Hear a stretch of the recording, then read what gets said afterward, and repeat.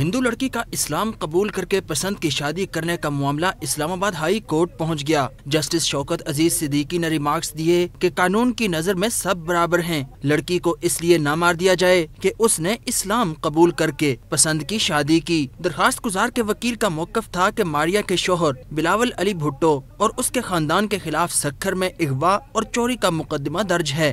یہ سارا صرف گیم ہے، کاروباری کا، ان کو مارنے کا۔ کسی بھی طریقے سے ان کو سندھ پہنچایا جائے اور مارا جائے۔ ماریا کا کہنا ہے کہ وہ مرضی سے مسلمان ہوئی۔ کسی نے کوئی دباؤ نہیں ڈالا۔ زبردستی نہیں کی گئی ہے کچھ بھی نہیں کیا گیا۔ میں اپنی مرضی سے آئی ہوں۔ کسی نے نہیں اٹھایا۔ کوئی مجھے اٹھا ہی نہیں سکتا ایسے لڑکی کے چچا کا کہنا تھا کہ لڑکی کو اس کے والدین سے ملاقات کرائی جائے۔ ان کو دارومان میں ڈالا جائے اور ہمارے ساتھ انصاف انصاف کیا جائے تاکہ لڑکی ان کے پاس نہ ہو نہ ہمارے پاس ہو بیچ میں ہو۔ جو لڑکی کا فیصلہ ہو، اس کو سب کو قبول ہوگا۔ ماریا نے عدالت کے استفسار پر کلمہ بھی پڑھ کر سنایا۔ عدالت نے آئندہ سماعت پر نو مسلم ماریا کے والدین سے عدالت میں ملاقات کروانے کا حکم دے دیا اور سماعت پچیس اگست تک ملتوی کر دی۔ ابرار حسین کیانی 24 نیوز، اسلام آباد۔